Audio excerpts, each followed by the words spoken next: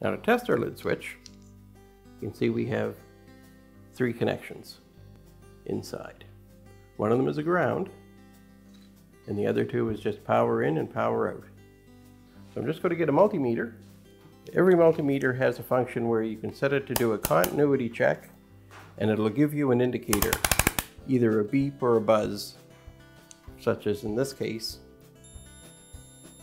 That tells us we have a completed circuit. So we're going to check that lid switch. We're just going to insert our probes into the first two slots and manually activate the lid switch. And you can tell that we have a good connection. So this lid switch is fine. The lid switch is not your issue and we'll need to look further.